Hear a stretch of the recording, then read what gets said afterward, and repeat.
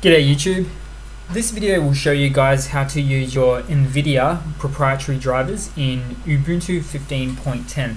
Now how to do this is actually quite simple. All you need to do is go to the, the menu dash and uh, check it out. So click on the Ubuntu dash, uh, type in the following which is additional drivers, there we go.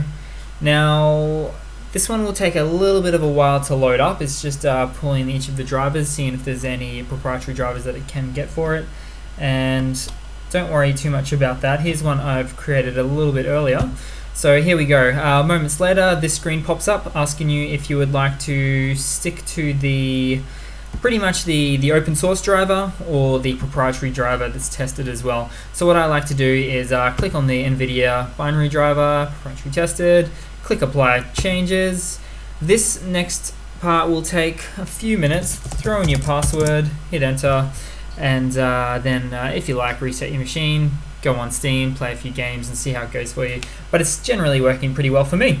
So that's pretty much it in a nutshell guys. That is how to uh, turn on your NVIDIA drivers in Ubuntu 15.10.